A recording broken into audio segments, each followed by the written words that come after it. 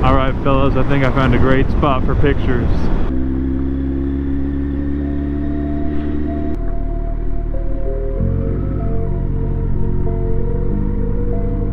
Oh yeah.